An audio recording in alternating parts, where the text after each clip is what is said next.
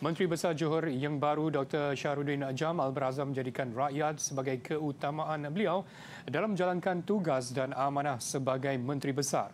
Menurut Dr. Syahrudin serentak pelantikan itu, beliau akan membuat rombakan portfolio dalam barisan pentadbiran kerajaan negeri.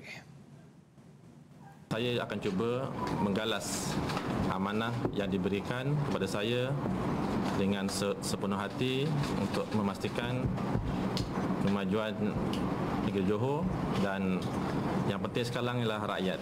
Kita ingin memastikan rakyat negeri Johor dapat menikmati segala kemajuan ataupun pembangunan yang telah kita rancangkan. Beliau berkata demikian pada sidang media di Ibu Bapa Parti Bersatu Johor di Kempas. Turut hadir pemimpin Parti Komponen Pakatan Harapan dan bekas Menteri Besar Datuk Osman Sapian.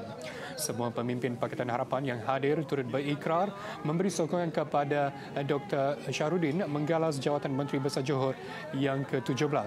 Menurut Dr. Syarudin, beliau akan mengemukakan senarai nama ESCO kepada Sultan Johor, Sultan Ibrahim Almarhum Sultan Iskandar dalam waktu terdekat.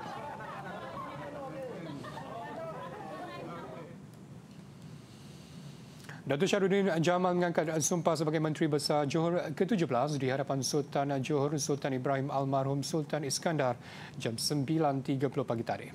Menurut catatan dalam laman Facebook Sultan Ibrahim, anggota Dewan Undangan Negeri Adun Bukit Kepong itu menerima surat tauliah pelantikan dan melafaz sumpah penyandang jawatan dalam istiadat penyerahan surat tauliah dan pengisytiharan pelantikan Menteri Besar Johor pada majlis yang berlangsung di Balai Mengadap Istana Bukit Serin. Berangkat sama Tunku Mahkota Johor Tunku Ismail Sultan Ibrahim dan menantu Sultan Ibrahim Datuk Denis Muhammad Abdullah. Dr. Syahrudin 43 tahun menggantikan Datuk Osman Sapian yang meletak jawatan pada 8 April lalu.